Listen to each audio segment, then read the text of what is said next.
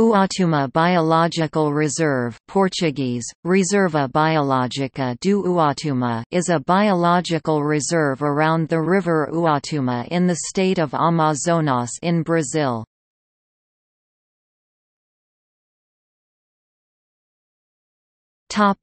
Location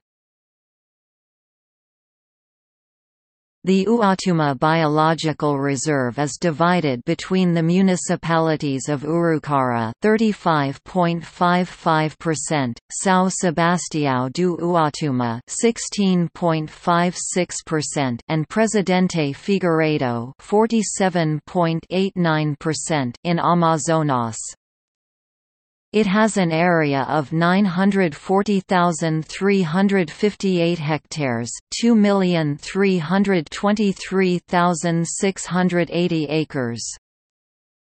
It lies along the northeast shore of the Balbina Dam Reservoir.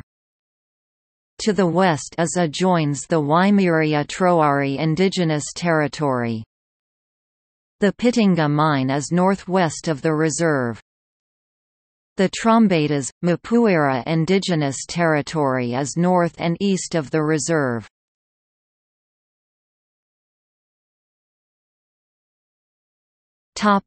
History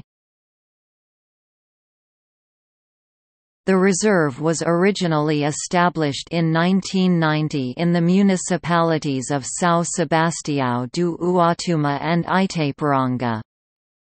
It covered 560,000 hectares 2,200 square miles. It became part of the Central Amazon Ecological Corridor, established in 2002. The reserve was expanded by decree on 19 September 2002. The Advisory Council was created on 23 July 2008. It is administered by the Chico Mendes Institute for Biodiversity Conservation.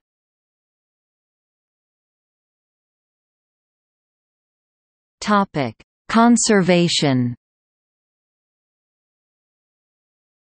The biological reserve is a «strict nature reserve» under IUCN Protected Area Category IA.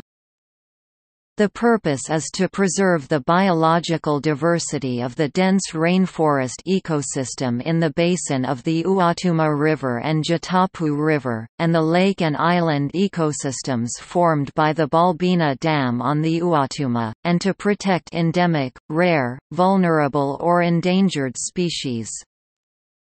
The conservation unit is supported by the Amazon Region Protected Areas Program.